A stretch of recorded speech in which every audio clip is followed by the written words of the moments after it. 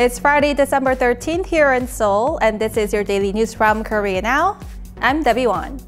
North Korea has slammed the United States for convening a UN Security Council meeting this week, saying the provocative act has helped the North decide which path to take in the deadlock nuclear talks. A spokesperson for Pyongyang's foreign ministry made the remarks after the UNSC held a session on Wednesday at Washington's request. At the meeting, the U.S. envoy called on the Council to act accordingly against North Korea's tension heightening behavior.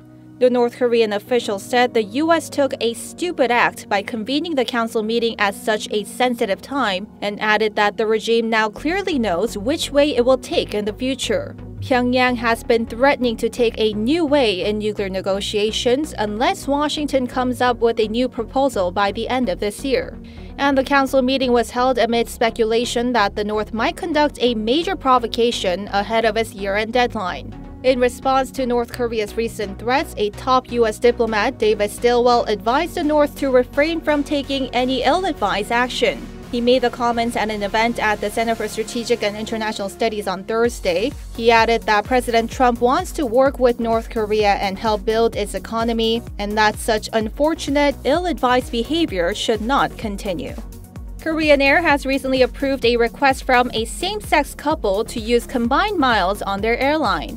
Earlier this week, a female Korean couple submitted a marriage certificate they obtained in Canada to apply for the SkyPass family membership to share their miles, and the company accepted their request. Korean Air said it approved the couple's application as they submitted all the required documents. But the company said it cannot provide details on how many same sex couples have applied for the program, as it violates the Personal Information Protection Act. The female couple in their 40s share their experience on a blog post, and the story has been getting a lot of attention as same sex marriage is still illegal in South Korea, meaning same sex couples are usually not allowed to benefit from the country's systems and programs that are set for opposite sex couples.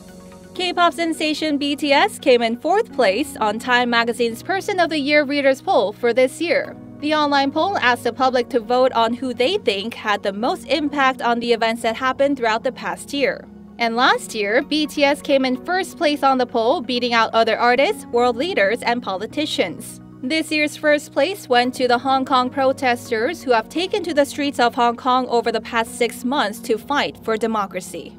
And those are your top stories for today. For full length articles, you can check out our official website, link down below.